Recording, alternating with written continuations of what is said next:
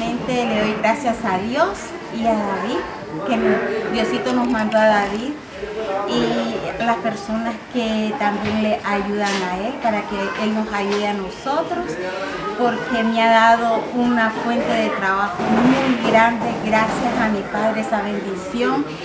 Este con esto yo he hecho mi, todas mis cosas he tenido una ganancia muy buena que hasta eso que ya hice el muro de mi casa pagué ya lo, el ayudante y todo eso y voy a seguir adelante y le doy gracias a todos los del cuerpo de paz que nos sigan bendiciendo a cada una de nosotras y que a David me lo manden de regreso otra vez.